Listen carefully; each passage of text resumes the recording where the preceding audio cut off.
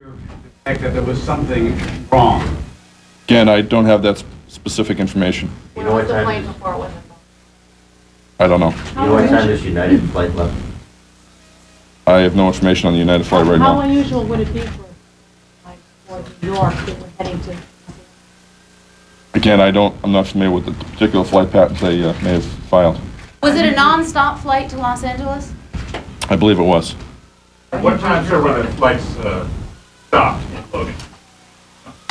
What, What time? What time was the What airport time shut was the down? airport shut down? I we shut the airport down to arriving flights uh, somewhere around 9:15, and uh, departing flights shortly after that.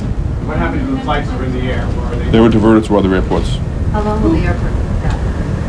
How long? Uh, Again, we're going to assess all the measures that we've taken. We want to, obviously, the safety and security of anyone who works here at the uh, airport, any of our passengers is a top priority. Do you have a lot of baggage that isn't anybody allowed?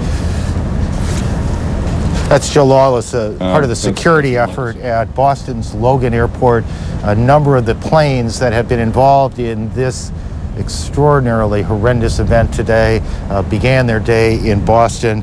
The Boston airport, like airports now across the entire country, is closed. Every airport in the country closed. International flights, as you heard Mr. Lawless say, uh, being sent to uh, to Canada as they approach the United States. Um, these are scenes. These are.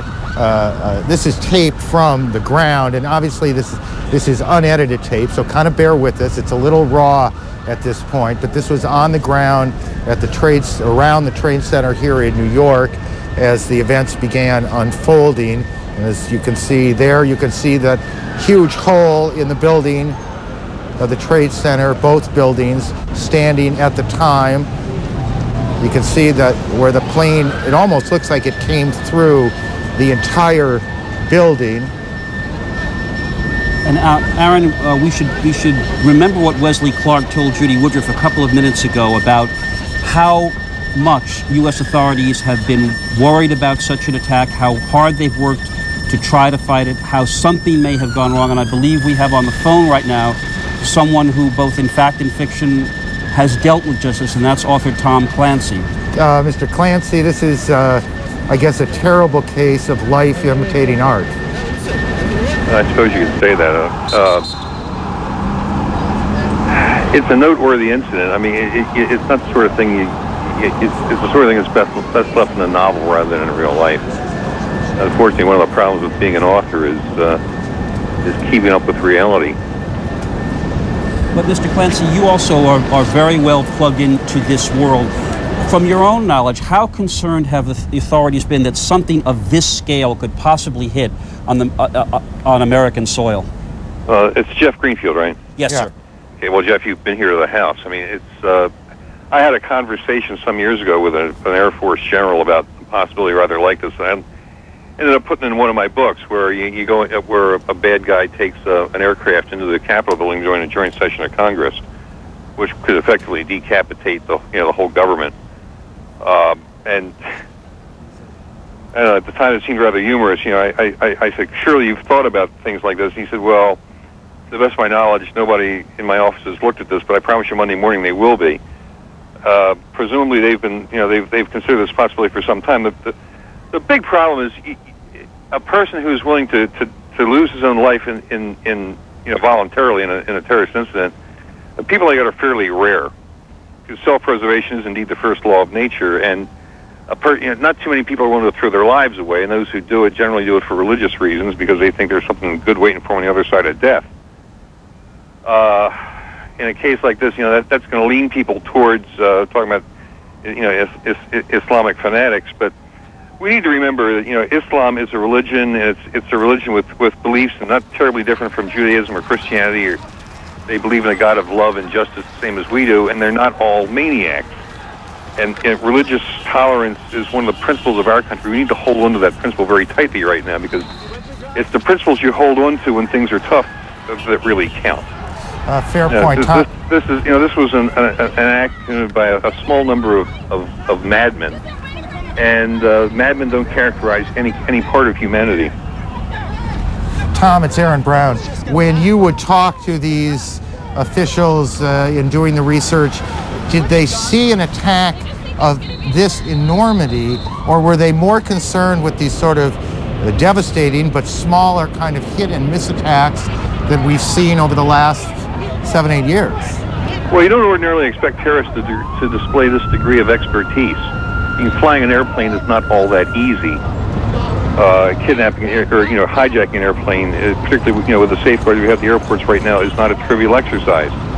But unfortunately, you know the, the, the security you have at airports is is not perfect because nothing human beings do is perfect. Somebody thought very you know very carefully and, and hard and long about this, and then they got some some madmen to actually take control of the aircraft. Uh, Tom, stay with me for a second. We we Yes, we uh, a few moments ago uh, told our viewers that United Airlines was concerned about another. Uh, United lost a flight near Pittsburgh earlier today, and officials said they were also concerned about United Flight 175 Boston to Los Angeles. And now we have reports that concern was justified. A second plane has gone down, United Flight 70, 175. Again, that was from Boston to LA. Uh, and as you look at the Pentagon, which was also hit by a plane earlier in the day. Jeff? Yes, it, Tom, you were mentioning that that uh, it, this is such a rare act, and yet we now know of at least four commercial airliners that apparently were hijacked and either crashed or crashed into buildings, causing death and havoc of an unimaginable scale. So, whatever, whoever is behind this, this is of a dimension that literally uh, dwarfs even fantasy. Uh, pretty much. You know, I, I dreamed pretty big when my dreams, you know, fortunately or unfortunately, didn't get quite this large. Uh, it, it's not, generally speaking, it's not credible to think that you're going to find, a, you know, a, more than one person who's willing to, to do something like this, because people who are willing to throw their lives away are fairly rare. In this case, uh, they got you know somebody who was well organized and and, and produced a well planned and reasonably well executed operation. Well, it, And we need to find out who it was, and then to go after him. But that's you know that's going to take time. But we do have the people to do that if they have the proper support from the executive branch of the government and from uh, and from the general population of our country to identify, locate, and deal with uh, the people who performed this act.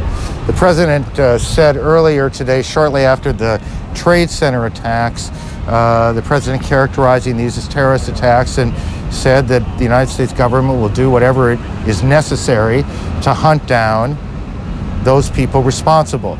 I think it is fair to say, uh, Tom, Jeff, all of uh, you on the line here, it is fair to say that what we know is that this is an extraordinarily large operation, and what we don't know, in a way, is just how big it is.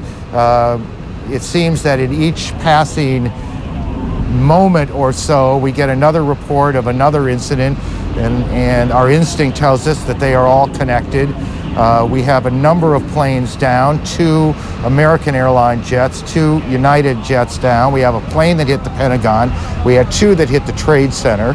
Uh, you're talking about something that is, I, I think it's fair to say, Jeff, it is beyond anything any of us Could have imagined. could possibly have imagined.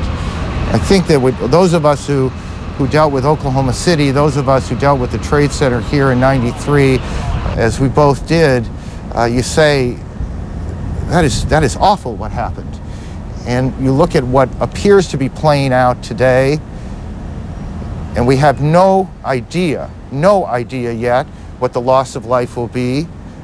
Certainly in the hundreds. We know that hospitals here in New York are overwhelmed with people being brought there all over the city of New York and beyond. the, the only piece of news that is the least bit, I guess, uh, reassuring is that is that there is no report of any kind of chemical result. That is, the folks on the ground around the World Trade Center, the rescue crews, the survivors. There is absolutely no indication at this moment that there was any kind of, bio, of bioterrorism involved. Not that what happened here isn't horrific enough. Yeah, absolutely. And uh, let me just add on again small, medium sized pieces of information as we go. Uh, all airlines in the country are closed down. Uh, all airports in the country are closed down. We now are being told that the U.S. Mexican border has been sealed. Uh, we don't know if that is just simply part of a plan that the government puts into effect under a worst case circumstance. This is certainly that. Or if there is some specific reason why a decision was made to shut down that border.